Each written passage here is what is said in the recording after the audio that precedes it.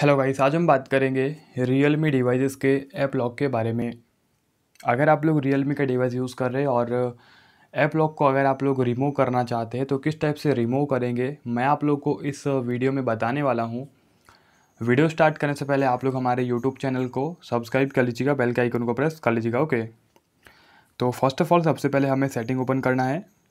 Settings open करने के बाद हमें यहाँ पर जाना है प्राइवेसी पे। ओके इस पर हमने क्लिक कर दिया। प्राइवेसी प्रोटेक्शन में हमें ऐप लॉक का ऑप्शन मिलता है इस पर क्लिक करेंगे। यहाँ पे आप लोग अपना पासवर्ड डाल दीजिएगा। पासवर्ड डालने के बाद हमें यहाँ पे जाना है टू डॉट पे। सेटिंग्स में हम इसके चले जाएँगे। उसके बाद यहाँ पे आप लोग को रेड कलर में ऑप्शन मिलेगा। टर्न ऑफ़ ऐप लॉक इस पर आप लोग क्लिक करेंगे। आ, और आप लोग यहाँ पे जो है अपना ऐप लॉक रहता है उसको मतलब ऑफ़ कर सकते हैं।